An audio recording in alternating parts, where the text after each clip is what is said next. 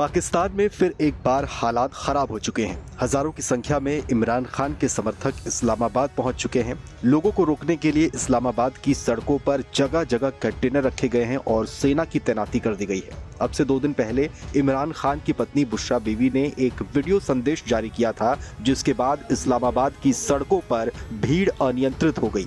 बुशरा बीवी ने वीडियो संदेश के ज़रिए पीटीआई समर्थकों से राजधानी इस्लामाबाद पहुँचने की अपील की थी। बुशरा बीवी ने कहा था कि ये आप लोगों के देश के भविष्य का सवाल है। ऐसे में ज़्यादा से ज़्यादा संख्या में इस्लामाबाद पहुँचे। पीटीआई ने जनता से गुलामी की, बेड़ियों को तोड़ने के लिए मार्च में शामिल होने की अपील की थी।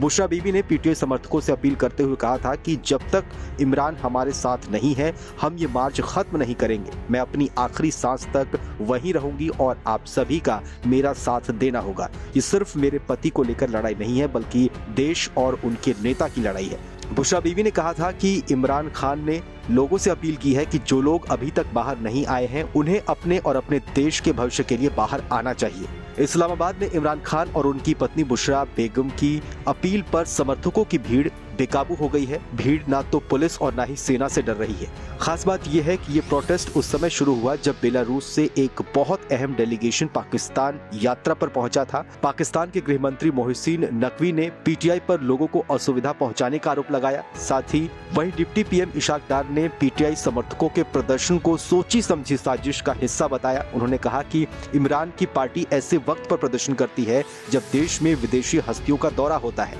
आपको बताएँ तो इमरान खान को पाकिस्तानी आम चुनाव से कुछ महीनों पहले तोशखाना मामले में लंबी सजा सुनाई गई थी। उन पर आरोप था कि उन्होंने पीएम के बतौर अपने पद को मिले तोहफे को टैक्स में घोषित किए बिना चुपचाप बेच दिया, जो कि नियमों के खिलाफ है। इसके अलावा फ़िलहाल उन पर करीब 150 मामले चल रहे हैं, जिसमें से सैन्य ठिकानों पर हमला भी शामिल है। मई में हुए हमलों का ये मामला पाकिस्तानी मिलिट्री कोर्ट में है। चश्मदीदों के अनुसार इमरान ही उस अटैक के करता धरता थे। ऐसे में इस्लामाबाद में हो रहे हालिया प्रोटेस्ट ने फिर एक बार पाकिस्तान की राजनीति में बड़ी हलचल पैदा कर दी है। इमरान खान भले ही मौजूदा वक्त में जेल में हो, लेकिन पीटीआई की रैलियों में शामिल होकर उनकी पत्नी बुशरा बीवी ने पाकिस्तान में खलबली मचा दी है।